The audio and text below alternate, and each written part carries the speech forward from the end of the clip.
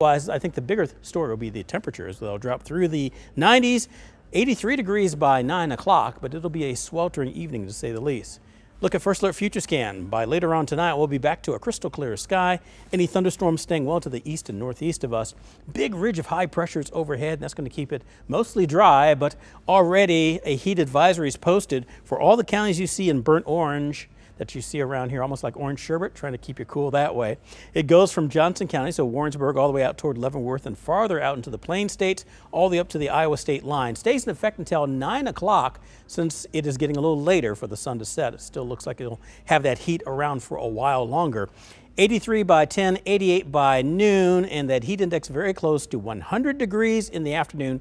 That's part of the reason why I think the National Weather Service has decided to go for a heat advisory. And here you see the big warming. 94, just the temperature, humidity added into it, very close to triple digits. Winds will pick up out of the south fairly strong, so it'll be a windy day, or a breezy day at least, and very hot and humid, so definitely hydrate for sure. Here's a look, the exclusive First Alert nine day forecast. 92s on Saturday and Sunday, and morning temperatures pretty much in the 70s. Heading into next week, 70 to 90 degrees on Monday, Tuesday. Through about the holiday weekend, a pop-up shower or thunderstorm cannot be ruled out, much like we're getting right now, but the odds should be in our favor. The ridge is going to break down a little bit. That's why the heat won't be as heavy.